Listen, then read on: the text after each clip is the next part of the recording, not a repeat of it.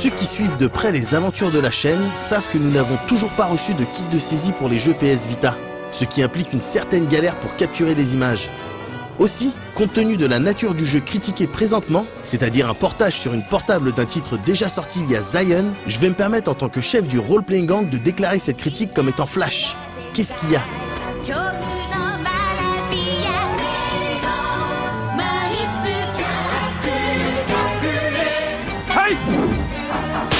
Disgaea 3 Absence of Detention est donc le portage du troisième épisode de Disgaea sorti sur PS3 en 2009 chez nous. On y retrouve Mao, un jeune étudiant de l'Evil Academy qui a le venin depuis que son père lui a pété sa Station, sa console qui comprenait des sauvegardes de plusieurs millions d'heures. Le souci, c'est que son père n'est autre que l'Overlord du Netherworld. Pour le défaire et lui foutre les nerfs, Mao s'inspire donc d'un héros légendaire, défenseur de l'amour et de l'amitié. Comme d'habitude, on a là affaire à une trame complètement fucked up, servie par des personnages qui sont encore plus. Comme Raspberry par exemple, une élève considérée comme ultra rebelle parce qu'elle fait ses devoirs, ne manque jamais un cours et fait des dons de sang. Un humour qui fonctionne, ou pas, mais qui a en tout cas le mérite de nous changer de ce à quoi les Tactics nous ont habitués jusqu'à maintenant. Concernant le game system, ce Disgaea se pointe avec les mêmes idées qu'Absence of Justice sur PS3, et donc avec une grande partie des idées déjà présentes dans les précédents épisodes. Il y est par exemple toujours question de géobloc et de géopanel, ce principe qui en plus d'octroyer différents bonus ou malus aux personnages qui se trouvent sur des cases de couleurs précises, permet de faire des réactions en chaîne afin de se débarrasser de ses ennemis et d'augmenter sa jauge de récompense à la fin du combat. On retrouve également tous ces délires d'attaque combinée, de lift et de monster change qui permet de transformer vos monstres en armes.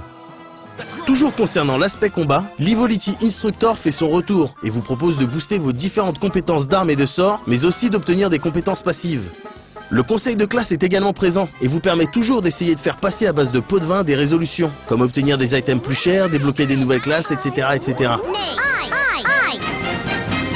Pour du challenge un peu plus élevé, les vrais joueurs pourront à nouveau se faire plaisir dans les Item World et booster leur équipement et leurs personnages comme des bâtards.